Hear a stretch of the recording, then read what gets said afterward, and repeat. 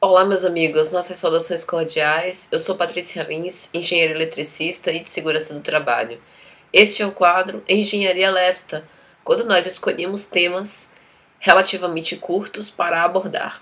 E hoje nós vamos falar sobre o relé de proteção contra arco.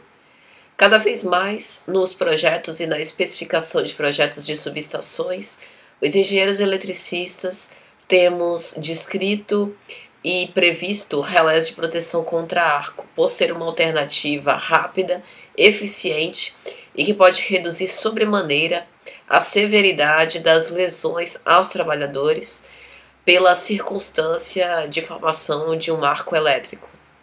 Pelo fato de ter fibras espalhadas pelo interior do painel e que podem verificar a ocorrência do clarão, que é uma das consequências do, ar, do arco elétrico, a gente tem uma mensagem que ela é muito mais rápida, e aí existe um protocolo específico para esse tipo de mensagens, segundo a IAC 6850. E devido a isso, nós podemos ter uma ação mais rápida do seccionamento daquele circuito, como a operação do disjuntor, por exemplo. Mas para que a gente possa explicar melhor isso, é interessante antes recorrermos à norma ANSI e 3E Standard 100 de 1988, quando define o que é arco. Para essa norma, abre aspas, uma descarga de eletricidade através do gás, normalmente caracterizado por uma subtensão na adjacência do cátodo, aproximadamente igual ao potencial de ionização do gás.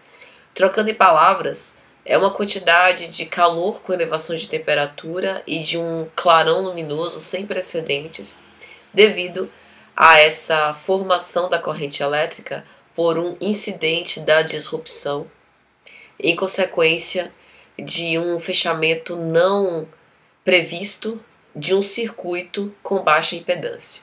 Então, essa seria a forma mais comum da gente dizer o que é o arco.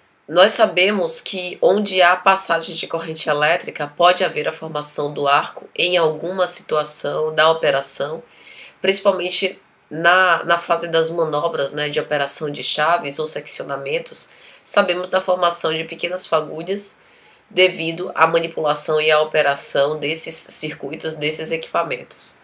Mas aqui nós estamos diante de um evento que causa consequências mais desastrosas ou pode vir a causar como por exemplo queimaduras, pelo fato da elevação da temperatura, da formação e do deslocamento de massas de ar quente sobre o trabalhador caso ele não esteja com a proteção adequada.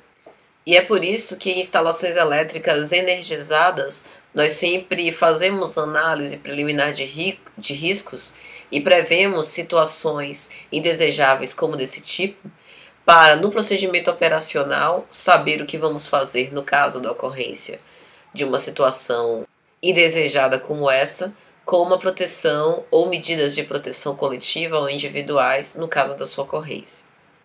Os arcos, eles geralmente são muito quentes. É, há estudos que estimam da ordem de 50 mil graus Celsius e a sua energia é liberada principalmente de três formas: a luz, logicamente, o calor e sob a forma mecânica, como o deslocamento do ar, que pode inclusive atingir os trabalhadores e provocar impacto da vítima contra as estruturas. A liberação da energia luminosa ela também é muito danosa, inclusive podendo causar a cegueira, porque há radiação, não apenas a luz visível, mas radiação na faixa do ultravioleta. E a forma de calor quase sempre vai causar queimaduras no trabalhador seja por materiais derretidos, fundidos durante a ocorrência do arco, seja pelo próprio ar quente. Nós temos basicamente duas premissas para a proteção elétrica. A primeira delas é que a proteção sempre deve atuar com a finalidade de interromper uma falta capaz de causar danos à segurança e integridade de profissionais e trabalhadores, assim também como preservar a integridade dos equipamentos e instalações. A segunda premissa é que a proteção deve agir de forma rápida, seletiva e isolar o ponto de falha com o objetivo de garantir a continuidade operacional com segurança.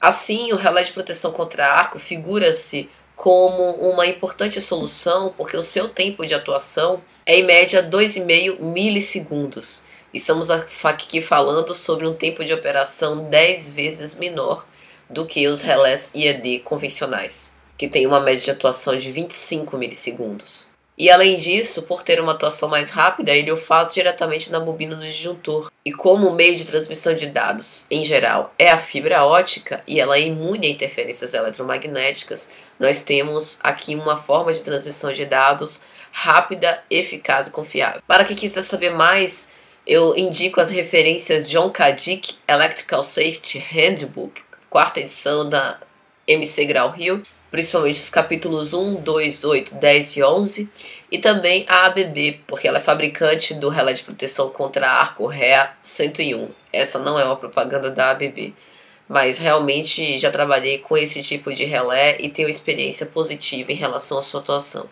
No site da ABB tem um manual de operação onde ele explica com detalhes esse funcionamento. É isso, espero que tenham gostado e até a próxima. Tchau, tchau.